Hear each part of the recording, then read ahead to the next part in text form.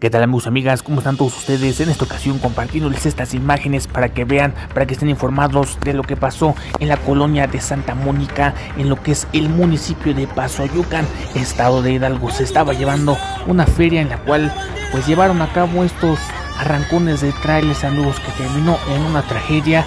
Dos trailers amigos en una calle angosta. Uno terminó por maniobrar mal el volante amigos y terminó pues estampándose, llevándose amigos aproximadamente 16 personas, 12 de las cuales se encuentran pues lamentablemente heridas y cuatro amigos, cuatro pues lamentablemente fallecieron amigos. Aquí podemos ver el momento exacto en que el tráiler se lleva a las personas, se desvió, esto está prohibido amigos, pero pues era una feria patronal y por si fuera poco, el conductor no se detuvo, el conductor se dio a la fuga, el conductor anda prófugo amigos.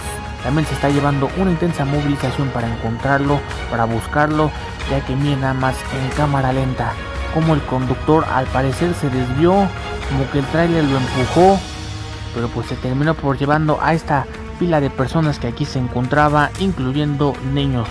Bueno amigos, hasta aquí estas imágenes impactantes, hasta aquí esta historia, hasta aquí estos hechos.